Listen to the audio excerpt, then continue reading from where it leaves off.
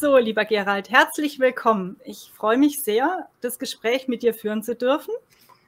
Und zwar gerne mit der Frage, wie kommen wir in unsere Kraft? Weil ähm, ich für diese Frage gehe und ähm, diese Frage auch gerne aus ganz unterschiedlichen Blickwinkeln mit unterschiedlichen Menschen beleuchten möchte und ähm, das aus deiner Sichtweise der Neurobiologie und aus deinen Tätigkeiten als Hirnforscher und mit welchen Initiativen und Potenzialentwicklung du unterwegs bist, mir das ein sehr spannendes ähm, Feld erscheint, mit dir diese Frage zu erörtern und zu ergründen und dem nachzugehen, wie wir in unsere Kraft kommen. Ja, Sabine, es ist ja so, dass ich erstmal sehr froh bin, dass wir mal Gelegenheit haben, so ein Gespräch zu führen. Wir, wir kennen uns ja schon einige Zeit und, und wir haben jetzt eine Zeit, in der es unglaublich viele Menschen gibt, die es dringend nötig hätten, in ihre eigene Kraft zurückzufinden, weil es solche gesellschaftlichen Veränderungsprozesse gibt, die da auf uns zukommen, dass wir uns nur wünschen können, dass möglichst viele Menschen bei sich bleiben können und nicht wie die aufgescheuchten Hühner umherrennen, weil sie dann auch gerne immer denen hinterherrennen, die dann meinen, sie wüssten, wie es geht oder ihnen erklären, was sie zu tun und zu lassen haben. Und jemand, der in seiner Kraft ist, der, der kann selbst entscheiden, was richtig ist und was falsch ist. Und die Frage, wie, wie man sozusagen in seine Kraft findet, ist, hat, hat sehr viel damit zu tun, dass wir ja eigentlich auf die Welt kommen und schon in unserer Kraft sind. Und dass wir da unterwegs äh, Erfahrungen machen und zum Teil auch Lösungen finden für die Probleme, mit denen wir da konfrontiert sind, die dann so fest im Hirn verankert werden, dass wir dann häufig aus diesen einmal gefundenen Problemlösungsmustern nicht mehr rausfinden. Und da kannst du dir vorstellen, das ist, als ob man so beim Autofahren auf eine Autobahn gerät. Und dann kommst du oftmals, und das ist dann besonders gefährlich, sehr erfolgreich, sehr weit voran. Aber du bist nicht wirklich in deiner Kraft, weil du die ganzen Nebenstrecken und die Seitenstraßen und die Abfahrten verpennst, weil du immer irgendwo hin willst. Und äh, jemand, der in seiner Kraft ist, der kann selbst entscheiden, wie schnell er fährt und wo er runterfährt und wo er sich nochmal äh, was anderes anschaut und damit ahnst du schon, was das bedeutet. Hirntechnisch bedeutet das, dass du offen bist für das, was diese Welt an Reichtum bietet und dass du da eigentlich nie richtig satt werden kannst mit all deiner Entdeckerfreude und deiner Gestaltungslust, die du ja eigentlich mal mit auf die Welt gebracht hast. So, und wenn man jetzt fragt, gut, das ist uns allen ein bisschen so gegangen. Wir sind ja alle durch ein Elternhaus gegangen. Wir haben alle die Schule absolviert und haben uns anpassen müssen an die Erfordernisse. Manche sind dabei im Hamsterrad gelandet. Manche glauben, sie seien furchtbar erfolgreich unterwegs und äh, erst dann, wenn sie dann ihren Herzinfarkt kriegen oder ihren Burnout, merken sie, dass das doch nicht ganz so das Richtige war. Und deshalb ist das eine Frage, mit der jeder Mensch irgendwann konfrontiert wird. Und die heißt, ist das Leben, was ich da führe, überhaupt das Leben, was ich führen möchte? Das ist eine spannende Frage. Und wenn du die wirklich beantworten kannst, dass du wirklich sagen kannst, ja, das ist das, was ich wollte, dann bist du in deiner Kraft. So, und jetzt können wir ein bisschen darüber nachdenken, wie das geht, wie man jemand wird, der nicht versucht, das Leben zu bewältigen, sondern der in diese spielerische Leichtigkeit findet, das Leben so anzunehmen, wie es ist und dann immer irgendwie was Positives daraus machen kann. Ja, das ähm, klingt auch ähm, sehr viel nach einer, nach einer inneren Haltung und einer Bereitschaft, sich selbst äh, reflektiert Fragen zu stellen und sich selbst auch reflektiert zu beobachten, um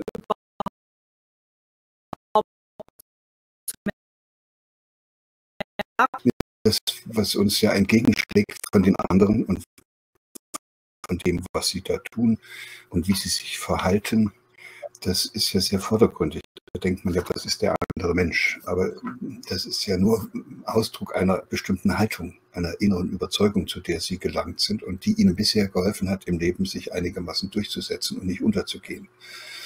Und diese Haltungen die erwirbt man aufgrund der Erfahrungen, die man unterwegs macht, bei der Bewältigung all der vielen unterschiedlichen Probleme, die man da so hat. Und das kann passieren, dass man schon in der Kindheit äh, eine bestimmte Erfahrung immer wieder machen muss oder machen, ja, machen muss. Und, und dass man dafür dann eine Lösung findet. Also nehmen wir so ein einfaches Beispiel, damit es konkret wird. Ich könnte sein, dass ich bei einer Mutter aufgewachsen bin, die äh, also sehr ordnungsliebend war und die mir immer signalisiert hat, dass ich erst dann richtig von ihr geliebt werde, wenn ich auch immer schön mein Zimmer aufräume. Mhm. Da habe ich nicht so viele Möglichkeiten. Also wenn ich, ich hänge ja an dieser Mutter und ich möchte auch von der gesehen werden und schon äh, bemühe ich mich so zu werden, wie die das möchte.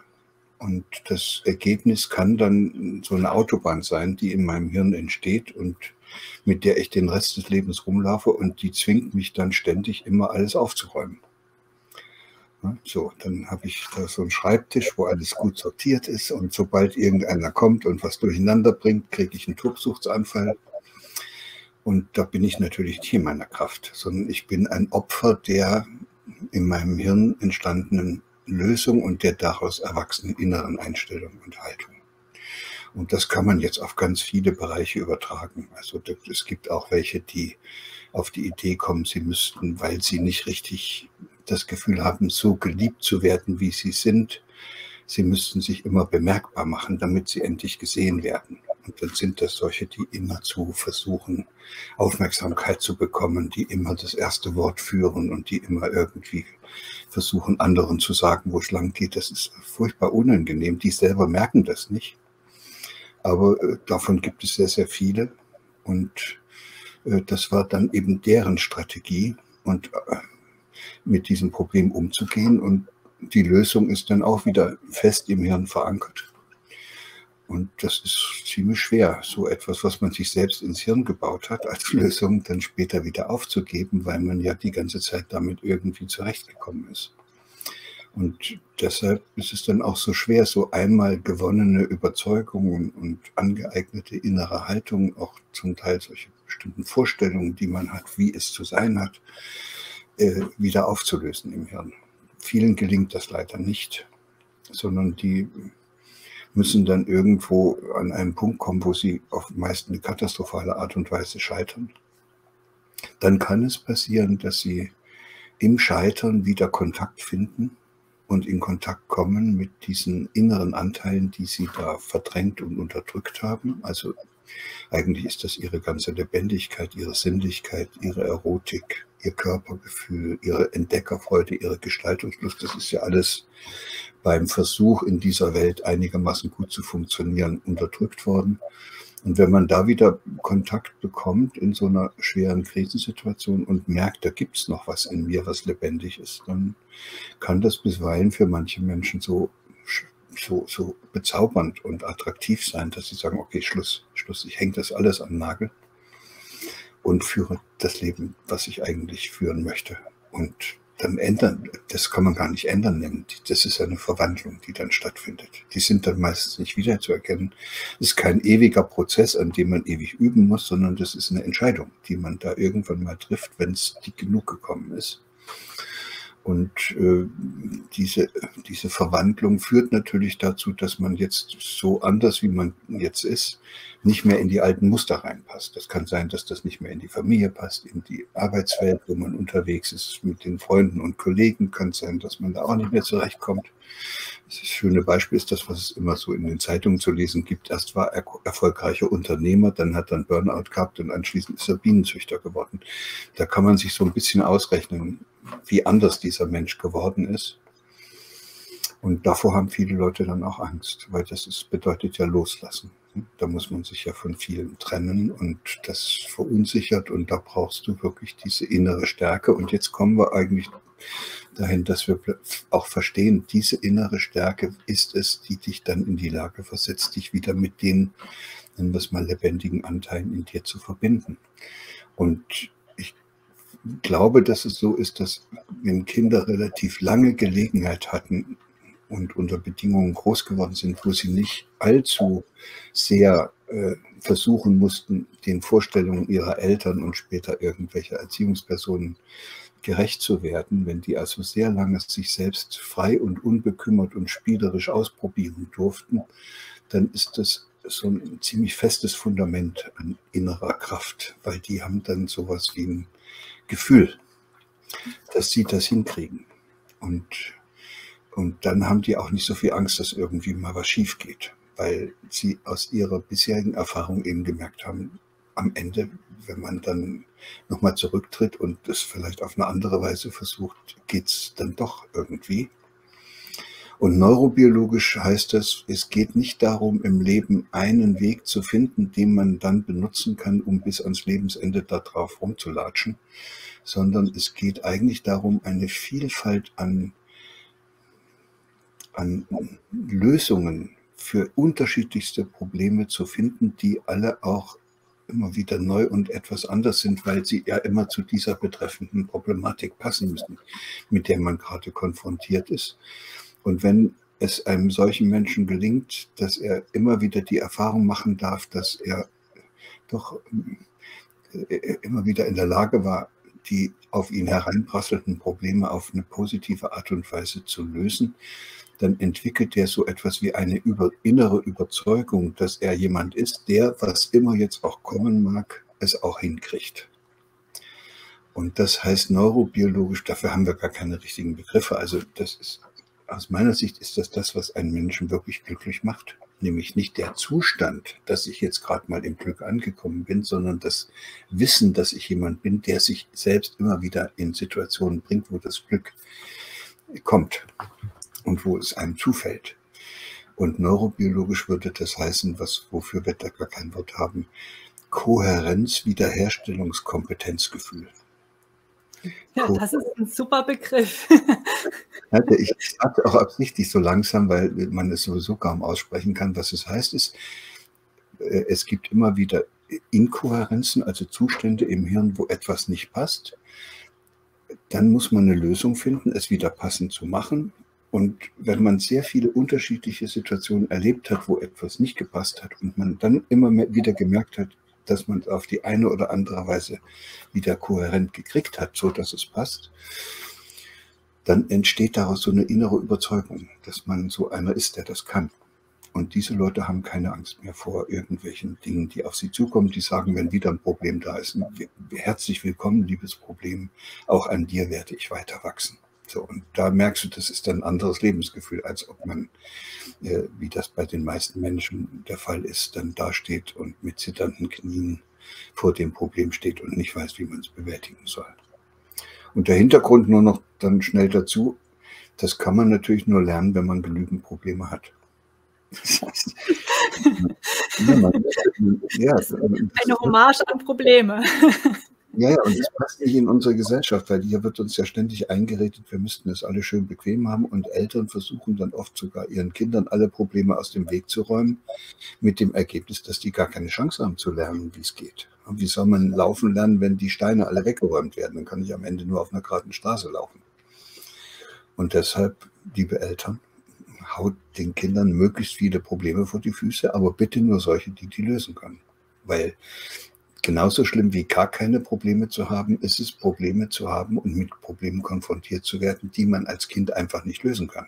Mhm. Zum Beispiel die, den Lebensunmut der Eltern, die Unzufriedenheit der Eltern, diesen ständigen Tratsch und dieses, diese Konflikte, die die da miteinander austragen. Das, das ist etwas, was jedes Kind überfordert und dann gibt es auf. Ja, und viele Kinder fangen dann an, sich selbst dafür zu hassen, dass sie nicht in der Lage sind, weil sie Mama und Papa doch so lieb haben, denen zu helfen. So, dann zweifeln die an sich selbst. Ergebnis ist dann am Ende irgend sowas wie selbstverletzendes Verhalten oder eine Essstörung oder was auch immer das sein mag. Es ist jedenfalls furchtbar. Und deshalb lieber ständig kleine Probleme machen. Und dazu gehört dann eben auch, dass man immer wieder auch äh, dieses kleine Wunderwörtchen Nein verwendet. Dass man sagt, nee, das geht hier nicht. Und das möchte ich jetzt nicht. Und dann muss das Kind sich überlegen, wie es das irgendwie anders anfangen kann. Und schon hat es wieder eine neue Problembewältigungsstrategie gelernt. So geht's. Mhm. Ähm, was mir jetzt einfällt bei dem Wort, wo du vorhin Autobahn gesagt hast im Gehirn, ne? und ähm, dass es darum geht, wieder weit zu werden und vielleicht auch die kleineren Wege anzunehmen. Ne? Ähm, und ähm, des Weiteren habe ich mitgenommen, dass auch ganz wichtig ist, sich selber zu spüren. Also seinen Körper, seine, seine Gefühle, seine Empfindungen überhaupt, um überhaupt spüren zu können, wann bin ich lebendig, wann bin ich nicht lebendig. Und äh, eine gute Freundin hat mir letzt gesagt, ja, stellst dir vor wie bei einer Wanderung. Möchtest du da auf der breiten asphaltierten Straße laufen oder macht es viel mehr Spaß, quer durch den Wald zu laufen, wo man vielleicht mal im Unterholz stecken bleibt oder einen Weg geht, wo man wieder ein Stück zurück muss oder über einen Stein oder über Hindernisse, aber man die Möglichkeit hat, an den Bach zu kommen, einem Fuchs zu begegnen und viel spannendere Dinge erleben kann, vielleicht Bären am, am Wegesrand finden kann. Und ähm, ja, aber da hast du ja schon. Auch ein Weg in die, in die Lebendigkeit. Oder es wäre auch eine Möglichkeit, ähm, sag ich mal, sich selbst ein Umfeld zu schaffen, wo man sich erproben kann, mit kleineren Problemen umzugehen und seine Lebendigkeit wieder zu entdecken. Ne? Ja, prinzipiell ist das vollkommen richtig, aber du hast es ja schon ein bisschen gesagt, äh, dass diesen, diese Vorstellung, dass es toll sein könnte, querfeld einzugehen und dort möglicherweise ganz viel zu entdecken, die kann nur jemand haben, der schon oft mal querfeld eingegangen ist und was entdeckt hat.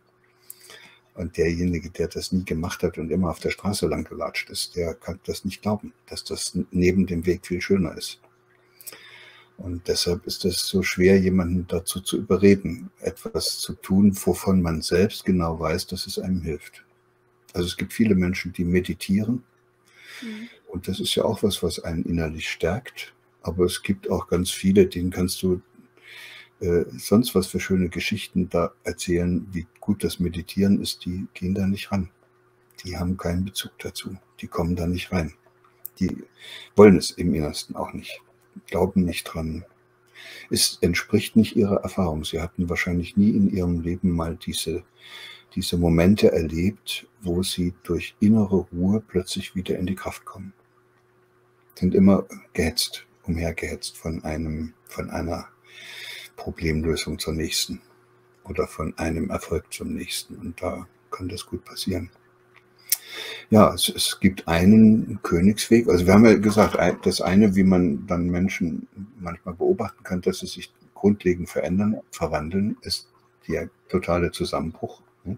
Katharsis aus der Krise heraus kommt plötzlich ein anderer wieder raus. Der andere, den finde ich schon etwas angenehmer, dass ich nenne das immer gerne Sternstunde. Das ist also, wenn dir etwas begegnet, wo du auf die Knie fällst und vor Rührung weinst, weil das einfach dich wieder mit dir selbst verbindet. Kann ein Baum sein im Wald oder ein Film oder du liest ein Buch und dann musst du es weglesen, weil du nicht weiterlesen kannst, weil dir dieses, was du da gerade gelesen hast, zeigt, dass du einfach ganz weit weg von dir gelandet bist und dich halb verloren hast in der Welt. Und da gibt es auch ein paar, die dann sagen, nee, mach ich nicht mehr. Die äh, die beschließen in diesem Moment, dass sie anders unterwegs sein wollen. Und das Dritte, was vielleicht das Einfachste ist und aber genauso gut funktioniert und wo man auch nicht warten muss, bis man endlich zusammenbricht oder bis man mal eine Sternstunde hat, das ist, man kann, das hast du eben ja schon mit anderen Worten gesagt, man kann auch versuchen, ein kleines bisschen liebevoller zu sich selbst zu sein. Also immer wieder Gelegenheit zu schaffen, wo etwas, wo man etwas erlebt, was einem gut tut. Und das ist total simpel. Also da musst du ja nicht die großen Sachen gleich anfangen, sondern das reicht ja schon, wenn du abends beim Fernsehgucken dich mal fragst, ob dir das jetzt gut tut, diesen blöden Krimi auch mal anzugucken oder diese bescheuerte Diskussionsveranstaltung. Ausschalten und dann mal gucken, was passiert und plötzlich hast du den ganzen Abend wieder frei, kannst dir überlegen, was du mit diesem wunderbar gewonnenen Abend eigentlich anfangen kannst. Machst die Erfahrung, dass das eigentlich ganz großartig ist, dass du wieder Gestalter deines eigenen Abends zumindest erstmal bist. Und du verbindest dich auf diese Weise mit deinen wahrhaftigen Bedürfnissen, weil du musst ja, damit du liebevoll zu dir selbst sein kannst, in dich reinspüren und dich selbst fragen, was dir denn eigentlich gut tut oder gut täte und was dir fehlt. Und dann kriegst du Zugang zu dir selbst und spürst dann eben auch schon, bevor du sozusagen auf dem Totenbett liegst, dass es dann noch eine ganze Menge Dinge im Leben gibt, die man anders machen könnte. Es ist ja bezeichnend, dass es so Untersuchungen gibt, wenn Leute so am Sterben sind, das hat man die nochmal gefragt, was würdest du denn anders machen? Und dann kommt es alles. So. Ich hätte besser auf mich achten sollen. Ich hätte meine, meine Liebsten mehr, mich mehr um meine Liebsten kümmern sollen, um meine Kinder oder ich hätte auch mehr das machen sollen, was ich eigentlich wirklich gerne mache. Ich hätte mich um was kümmern können, außer um mich selbst. Und so eine Sachen kriegst du dann alle auf einmal. Und da sage ich immer, da muss man doch nicht warten, bis man auf dem Totenbett liegt. Das kann man doch jetzt schon anfangen.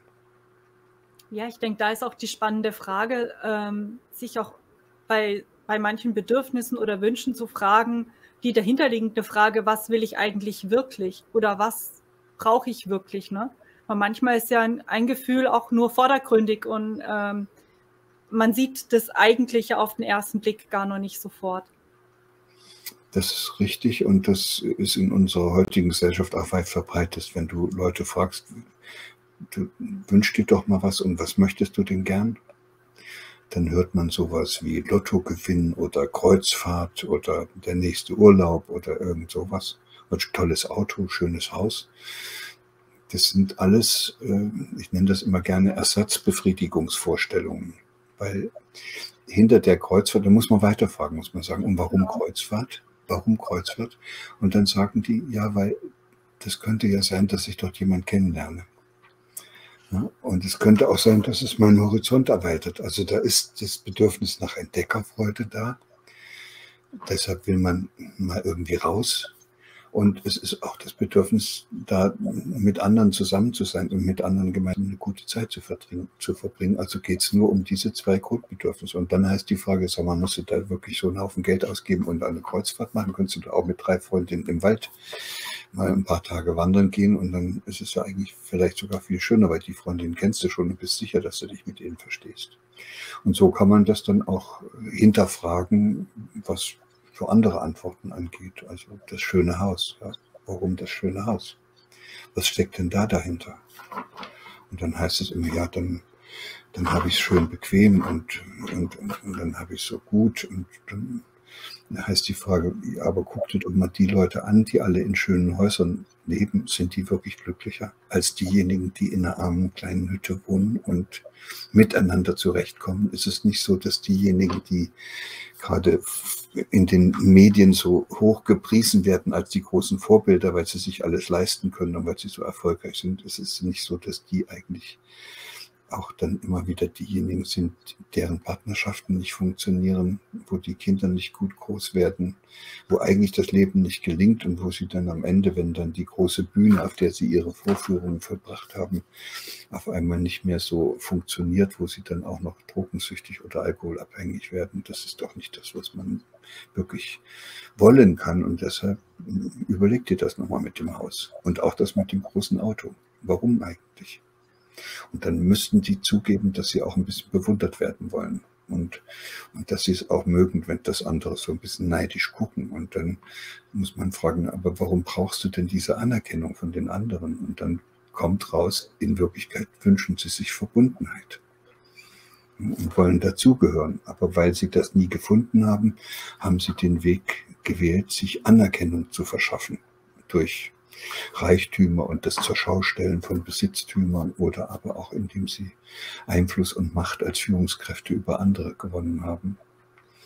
Glücklich macht das nicht. Aber es ist eben in unserer Gesellschaft sehr verbreitet und es ist nicht etwas, was die Leute wirklich stark macht. Die sehen immer stark aus. Wenn du mhm. wirklich wissen willst, ob ein Mensch stark ist, dann kriegst du das am leichtesten raus, wenn es um einen Konflikt geht, den der mit jemand hat. Weil da jetzt, wenn, wenn es wirklich einen Konflikt gibt, also nehmen wir so etwas Einfaches wie, wie diejenigen, die die Impfungen oder das Maskenaufsetzen in dieser Corona-Zeit alle befürwortet haben und diejenigen, die das abgelehnt haben. So ein Konflikt ist ja überhaupt nicht lösbar, weil die Positionen sind vollkommen auseinander und trotzdem muss man sagen, irgendwann werden wir wieder aufeinander zugehen müssen und dann heißt die Frage, wer geht denn da, wer hat denn die Kraft, auf den anderen zuzugehen? Und da heißt die Antwort, es ist der Stärkere. Und der Stärkere ist meistens nicht derjenige, der davon überzeugt ist, dass er absolut recht hat, sondern das ist derjenige, der am meisten bei sich ist, der in sich ruht und es nicht nötig hat, sich mit seiner Überzeugung über den anderen hinwegzusetzen. Das ist schön eigentlich. Also es ist auch mhm. sehr gut gemacht. Ja, da gehört aber in der heutigen Zeit auch schon Mut dazu, ne?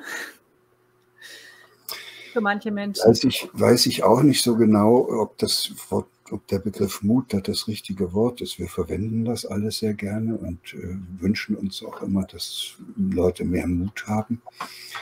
Aber mich hat da einfach mal eine Begebenheit vollkommen zum, zum also eher auf eine beeindruckende Weise zum Nachdenken gebracht. Da hat mir eine ältere Dame erzählt, sie hätte auf dem Marktplatz, wo ich hier wohne, äh, zwei junge Männer gesehen, die hätten sich furchtbar geprügelt und dann sei großer anderer Mann gekommen und hätte die beide am Schlawittchen genommen, hat sie beide angebrüllt und gesagt, sollen aufhören damit und nach Hause gehen.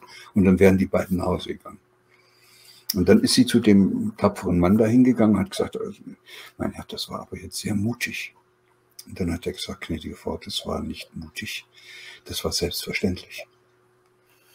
So, das war seine innere Auffassung. Der hat nicht aus Mut gehandelt, sondern weil er, weil er die Kraft dazu hatte und weil es Teil seiner Haltung ist. Nicht zuzugucken, sondern reinzugehen und dafür zu sorgen, dass äh, solche Sachen auf eine andere Weise gelöst werden. So, das ist Haltung. Und wenn wir dann jetzt noch ein bisschen weiter darüber nachdenken, dann wir machen es mal ganz einfach. Es gibt ja viele Kinder oder es gibt auch Situationen in deinem Leben, wo, wo man noch sich erinnert, da ist man auf den Zehner Sprungturm im Schwimmbad geklettert und wollte da runterspringen und dann hat man diese weichen Knie und dann sagen wir, da braucht man viel Mut. Und jetzt frage ich dich, sag mal, wenn du damals nicht deshalb hättest herunterspringen wollen, weil du Anerkennung finden wolltest bei deinen Gleichaltrigen, die da unten alle sitzen und auch ein bisschen bewundert werden wolltest, sondern wenn du wirklich nichts weiter wolltest, da oben auf dem Sprungbrett äh, oder auf diesem Turm, als mal selbst zu erleben, wie das ist, wenn man zehn Meter nach unten fliegt. Dann heißt es, derjenige, der das wirklich selber will, der diese Erfahrung machen will, der braucht keinen Mut, der springt. Und deshalb ist das, was die, was du, was die Jungen, was, was, was Menschen machen, nur um anderen zu gefallen oder weil sie meinen, es sei notwendig oder wollen Anerkennung finden dafür, das hat mit Mut eigentlich nichts zu tun. Das ist eine Zwangshandlung, die die ausführen, um Anerkennung zu finden. Und das Schlimme dabei ist, jetzt kann man richtig noch weitergehen und kann sagen, was ist denn das für eine Gesellschaft, in der Menschen dafür belohnt werden, dass sie etwas tun, also mit, mit, mit Honorierung und Anerkennung belohnt werden dafür, dass sie etwas tun, was sie normalerweise gar nicht von sich aus tun würden. Das ist ja Verführung. Man verführt den, etwas zu machen. Und dann wird es interessant, weil in der, in der Soldatensprache und im Krieg heißt das ja nicht Mut, das heißt Tapferkeit. Und dann kriegt man auch eine Tapferkeitsmedaille dafür. Ja, mir ist vorhin noch ein anderer Begriff gekommen zum Thema Mut, äh, wo du gemeint hast, hm, vielleicht ist Mut gar nicht der richtige Begriff. Ähm, und ich meine, ich hätte früher auch mal gelesen in älteren Texten, dass man da eher auch gesprochen hat von sich ein Herz fassen. Und sich ein ja. Herz fassen ist ja, das ist ja dann eher aus diesem Innen heraus folgen. Und das ist dann eher diese, diese Verständlichkeit, wo du bei dem Beispiel angesprochen hast. Ne? Das Bekenntnis zu dir selbst. Das hat der. Mann gemacht auf der Straße. Das war sein Innerstes. So hat er es gemacht. Und der Junge, der da vom Zehner runterspringt, das war das, was er wollte. Das war, hat seinem Herzenswunsch entsprochen und da ist er runtergesprungen. Fertig. Brauchen wir keinen Mut. Bist du schon mal gesprungen in deinem Leben? Ich hatte nie den Ehrgeiz, da runterzuspringen, aber wollte auch nicht wissen, wie das ist. Mir haben fünf Meter gereicht und dann dachte ich, okay, das wird jetzt auch nicht mehr viel besser, wenn ich das auf zehn Meter erhöhe. Und im übertragenen Sinne? Ich, ja, ich habe danach gedacht. Also ich habe ja, ich bin ja aus dieser damaligen DDR abgehauen und äh, da habe ich mir so einen Ausreisestempel gefälscht und das hätte ja auch alles schief gehen können und dann wäre ich drei Jahre in den Knast gegangen. Haben sie ja auch in Abwesenheit, wurde ich da ja auch verurteilt zu drei Jahren Gefängnis. Ja, es hat geklappt. Und wenn ich mich heute frage, habe ich das aus Mut gemacht? Nee, ich habe es gemacht, weil ich es dort nicht mehr ausgehalten habe. Ich wollte da weg. Das wäre mir egal gewesen, wenn sie mich erwischt hätten. Wäre auch egal gewesen. Ich hätte mich selbst im Spiegel nicht mehr angucken können, wenn ich das weiter mitgemacht hätte, was ich im Innersten gegen meine inneren Überzeugungen dort hätte tun müssen. So, und da braucht man keinen Mut, dann geht man. Hm. Und macht das dann aber auch besonnen und so gut wie möglich. Wenn du so, so Handlungen vollziehst, nur damit du die Anerkennung anderer findest, das sind meistens sehr blöde Handlungen. Also die, da überlegt man nicht richtig. Das mit dem Krieg, also da erschießen Leute andere und kriegen dafür die Tapferkeitsmedaille. Also die, sie werden belohnt für etwas, was sie freiwillig aus sich selbst heraus niemals machen würden. Mhm. Da, da, wird sozusagen diese, diese Anerkennung, indem man sagt, das ist aber jetzt mutig und das ist aber jetzt tapfer, wird benutzt, um die zu etwas zu bringen, etwas zu tun, was eigentlich gar nicht aus ihnen heraus, also was nicht mit ihrem Herzen übereinstimmt. Mhm. Aber da ist auch wieder das ähm, A des Herz, also sprich zu schauen, was sagt mein Herz eigentlich, dem, also dem in die Verbindung zu gehen mit dem eigenen Herzen und es wahrzunehmen. Und das andere, was du vorhin gesagt hast, sich zu fragen oder auch zu schauen, wirklich, kann ich mir selber in den Spiegel schauen? Ne, als zwei ähm, ja. Wegmarker zu schauen, bin ich auf dem, bin ich noch auf dem Weg? Ähm, ja, der Spiegel ist ein, eine gute Hilfe, ab und zu mal da reinzugucken und sich zu fragen, äh, ob man da überhaupt noch so unterwegs ist, wie man unterwegs sein wollte. Gibt aber auch viele Menschen, die haben sich noch nie gefragt, wie sie unterwegs sein wollten. Die sehen auch nichts, wenn sie den Spiegel sehen.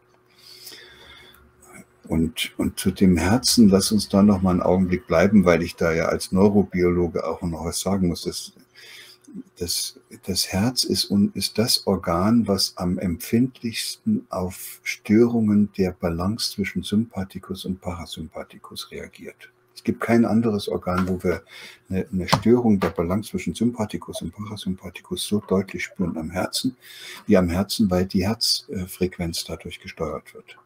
Durch diese Balance zwischen mhm. diesen beiden großen Systemen.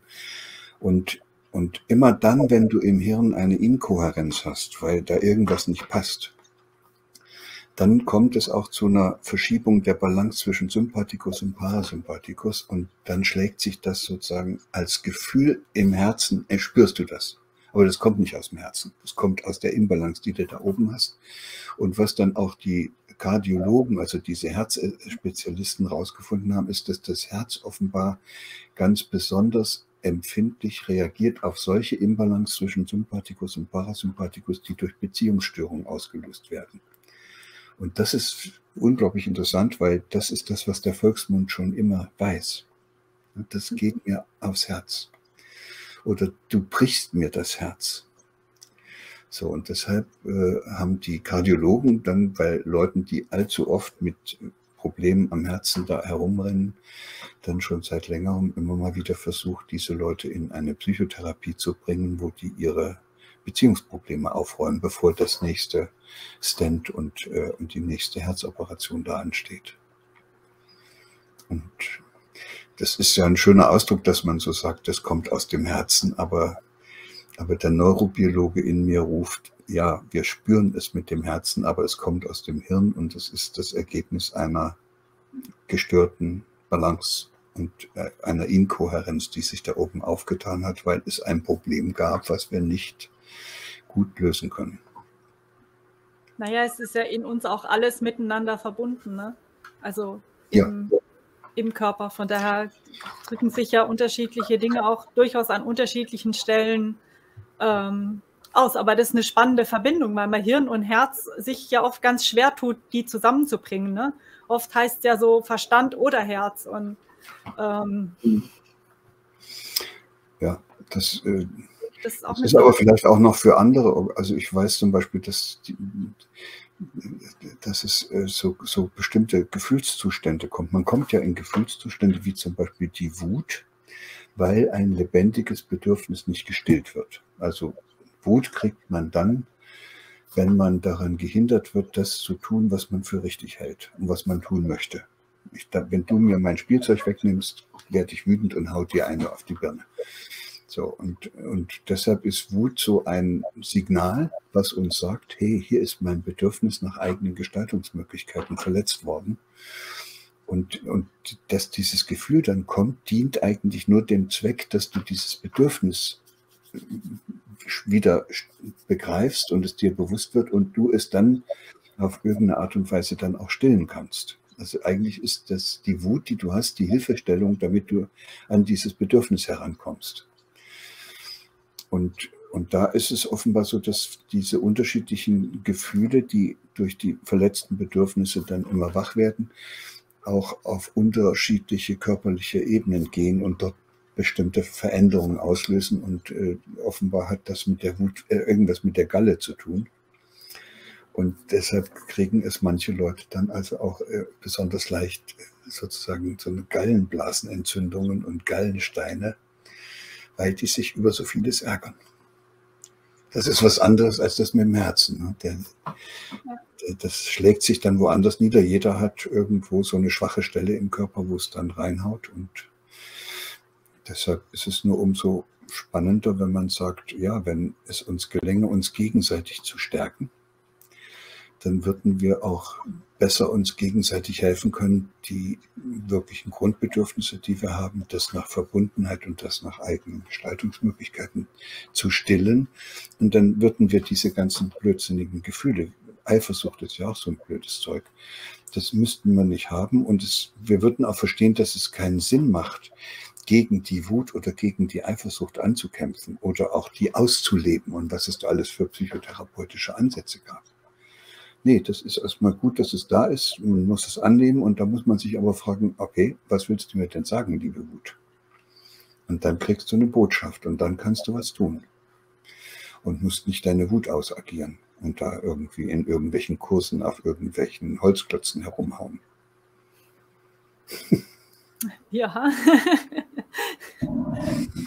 ja, aber bei Signale wahrnehmen, da sind wir auch wieder bei sich selbst wahrnehmen und spüren. Ne?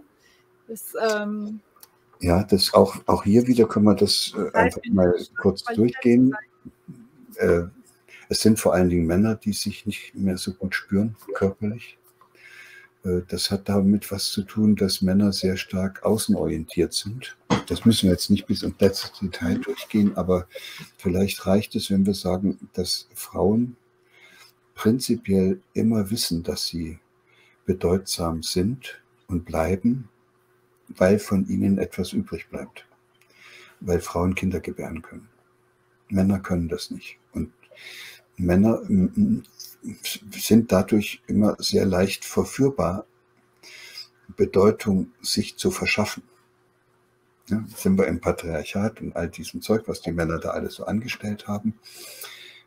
Aber das wiederum hat auch zur Folge, dass sie sehr stark außenorientiert sind und dass sie dann versuchen, auch im Außen immer erfolgreich zu sein und alles so zu machen, dass sie da in der Karriereleiter aufsteigen oder dass sie bei den Frauen besonders als attraktiv gelten oder was auch immer das so sein mag. Und das verleitet Männer noch mehr als Frauen dazu, die aus ihrem eigenen Körper kommenden Signale zu unterdrücken. Die das ruft da zwar von innen schon aus dem Rücken die ganze Zeit, hör doch jetzt mal auf und mach was anderes oder beweg dich mal ein bisschen und entspann dich. Aber der Mann hat dann das Gefühl, er müsse diese Aufgabe jetzt noch zu Ende bringen. Und deshalb hört er dann nicht drauf, unterdrückt das mit dem Ergebnis, dass der arme Rücken, der die ganze Zeit gerufen hat, sozusagen von dem Mann alleine gelassen wird. Und dann muss sich der Rücken selber helfen. Und was macht er? Er baut diese Bänder und diese Faszien noch stärker so aus, dass das also irgendwie in dieser gebückten Haltung vorm Monitor auch über Stunden hinweg auszuhalten ist. Hauptsache, der Chef oben schafft jetzt seine Deadline, die er sich vorgenommen hat. Und irgendwann ist der Rücken dann so verbogen, dass du gar nicht mehr richtig aufrichten kannst. Dann reißen dir beim Aufrichten kleinere Gefäße da hinten durch, weil das alles so verspannt ist. Es gibt Einblutungen, Narbenbildung und, und Gewebeneubildung. Und dann hast du plötzlich einen Rücken. Da gehst du dann nach drei Jahren zum Arzt, der macht dir ein Röntgenbild und dann siehst du richtig, wie kaputt der Rücken ist. So, und dann heißt es, der hat sich abgenutzt wegen zu großer Belastung. Äh, der hat sich aber nicht abgenutzt wegen zu großer Belastung, sondern der ist so geworden, weil du ihm nicht zugehört hast, weil du nicht mehr gehört hast, was er dir sagen wollte. Und da ahnt man so ein bisschen, wenn man das jetzt noch auf andere Körperbereiche überträgt, dass da vieles im Argen liegt. Und immer, ja, dass, dass es eben viele Menschen gibt, die es fertigbringen, die aus ihrem eigenen Körper kommenden Signale nicht mehr wahrzunehmen. Und das würde wieder anders werden, wenn die jetzt eingeladen, ermutigt und inspiriert würden, etwas liebevoller mit sich selbst umzugehen, weil dann würden sie wieder auf sich hören würde man sich auch mal fragen, ob mir das jetzt überhaupt gut tut, wenn ich jetzt was esse und ob ich diesen Kram da esse, der da beim Bäcker da in der Auslage angeboten wird. Und dann mache ich das eben nicht und suche mir Plätze, wo es mir gefällt. Leute, mit denen ich gerne esse. Dinge, die ich gerne esse, die mir schmecken und ich esse auch nicht mehr zu Zeiten, die mir nicht gut tun. Und plötzlich kann ich fast mein ganzes Leben verändern. Und das macht Spaß. Und das Vorteilhafte an, daran ist, dass das ja äh, von der betreffenden Person als positiv bewertet wird. Es ist ja attraktiv. Sie hat dann plötzlich das Gefühl, dass sie wieder selbst das, sozusagen ihr eigenes Leben gestaltet. Und sowas macht der Mensch gern, wenn es zu einem positiven Ergebnis führt. Aber wenn er muss, weil er gesagt kriegt, dass er sonst dick davon wird oder krank, wenn er das Falsche isst oder wenn er nicht mit dem Fahrrad fährt, sondern mit dem Auto, dass er dann die Umwelt schädigt. Das ist alles die falsche Strategie. So jemand, der dann nur Fahrrad fährt, weil er äh, ein ordentlicher Mensch sein will, der sich politisch und, und moralisch oder was weiß ich wie korrekt verhält, der freut sich insgeheim, wenn es regnet dass er endlich jetzt heute nicht mit dem Fahrrad fahren muss. Und währenddessen der, der aus ihrer Überzeugung Fahrrad fährt, weil es will, dem ist es egal, ob es regnet oder nicht, der wird nicht mit dem Auto fahren. Und da siehst du, das Verhalten sieht gleich aus und ist von völlig unterschiedlichen Motiven getragen. Und das muss man auch lernen, dass man das unterscheidet und dass man das erkennt. Das kann man aber nur erkennen, indem man sich das genau anschaut und dann auch mit den Leuten redet nicht vorwurfsvoll, sondern fragend herauszufinden versucht, was die überhaupt dazu bewegt, etwas so zu machen, wie sie es machen. Im Positiven wie im Negativen. Ja, ich denke, die richtigen Fragen zu stellen, kann viel weiterhelfen. Entweder, dass man das Glück hat, jemanden trifft, der einem selbst die Fragen stellt, oder man selbst jemandem das Geschenk macht, die Fragen stellt, oder schon die Fähigkeit hat, sich selbst die richtigen Fragen zu stellen, die einem ähm, weiterhelfen? Ja, das hängt damit zusammen, dass du äh, als jemand, der eine Frage beantwortet, immer Subjekt bist. Ähm, dann, dann bist du, du bist der Einzige, der das jetzt beantworten kann. Und das kommt aus dir und das ist authentisch und das bist du. Währenddessen, wenn du belehrt wirst von anderen und die sagen dir, was jetzt richtig und falsch ist, dann äh, dann bist du ja eigentlich das Objekt von deren Belehrung. Und das tut keinem gut, damit fühlt sich auch eigentlich keiner wohl, es sei denn, er hat sich schon so sehr daran gewöhnt, dass er das normal findet. Aber eigentlich ist äh, dieser Fragemodus der Modus, in dem man sich in seiner eigenen Subjekthaftigkeit erlebt. Und es gibt auch Kulturen, ich glaube die jüdische Kultur, weil da wissen das viele aus dem Bildungsbürgertum und die versuchen ihren Kindern möglichst keine Frage zu beantworten, sondern wenn sie eine Frage beantworten, die immer so zu beantworten, dass die nächste Frage kommt. Das heißt, sie versuchen das Kind immer in diesem Fragemodus zu halten, indem es sich selbst fragend das Wissen erschließt. Ist eine hohe Kunst, das würde ich so als pädagogische Spitzenleistung bezeichnen.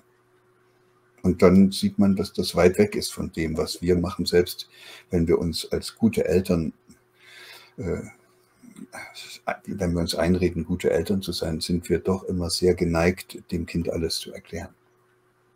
Und da würde das in dem Kontext heißen, in dem Augenblick, wo der kleine Junge erklärt wird, erklärt bekommt, wie das mit den Maikäfern ist und dass die so einen Vierjahreszyklus haben und dass es einen Engerling gibt und äh, dass die nur diesen einen Sommer rauskommen und sich verpaaren und wieder Eier legen, wenn das alles jetzt dem Jungen erklärt wird, hindert man ihn daran, es selbst rauszufinden.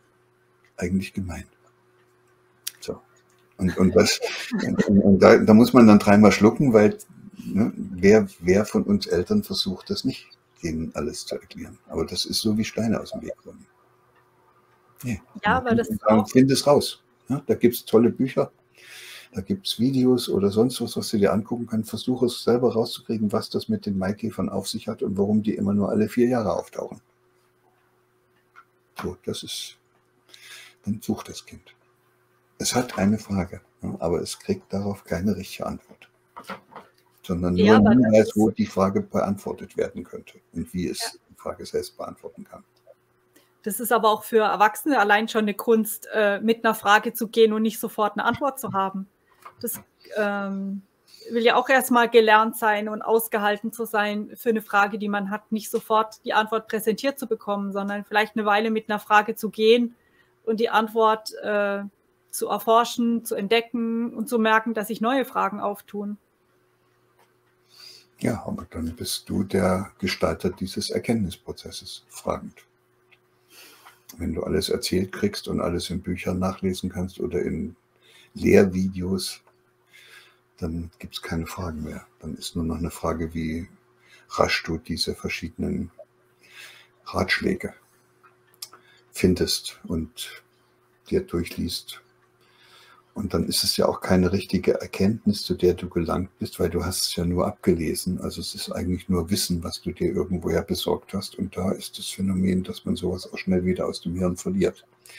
Also ein Junge, der erzählt bekommt, wie das mit den Maikäfern ist, wird das schnell wieder vergessen. Aber einer, der selbst drei Tage rumgesucht hat, bis er endlich alles so weit zusammen hatte, dass er dem Papa erklären konnte, wie das, warum die Maikäfer immer nur alle vier Jahre kommen, der vergisst das sein ganzes Leben noch nicht wieder. Das sitzt dann.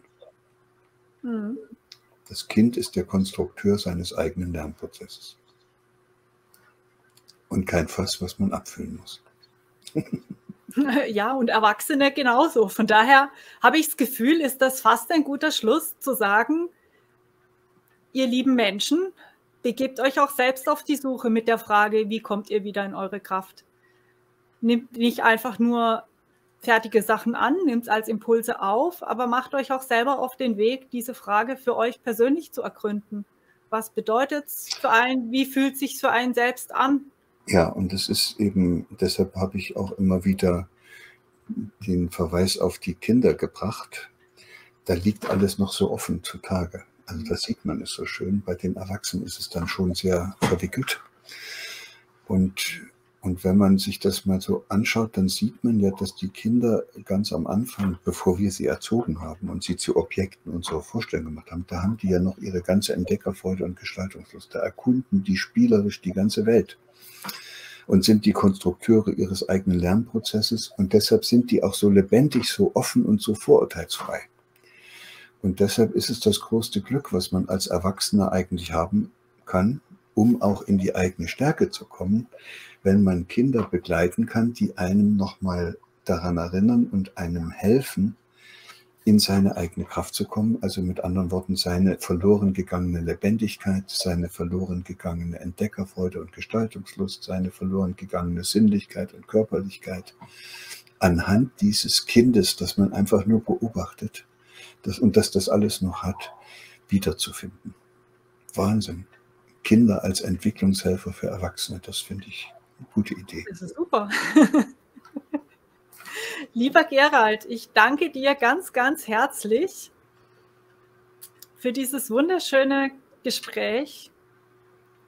Ja, hat mir auch Spaß gemacht und äh, finde ich schön, dass wir da miteinander ein bisschen was austauschen konnten. Und wenn es noch einigen anderen gefällt, die das dann vielleicht sehen und hören, umso besser. Ich glaube, wir müssen versuchen, miteinander über diese wichtigen Themen ins Gespräch zu kommen, damit, das, damit sich das ausbreitet und es auch in, bei immer mehr Menschen ankommt. Also, alles Gute, vielen Dank. Schönen Tag noch. Dir auch alles Gute. Herzlichen Dank. Tschüss. Tschüss.